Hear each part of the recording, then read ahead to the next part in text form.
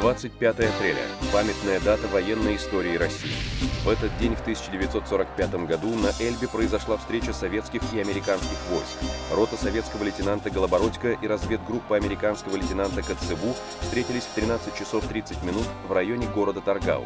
Рукопожатие на Эльбе стало ярким символом боевого братства наших стран в годы Второй мировой войны. Нацистская Германия была расколота на две части – северную и южную.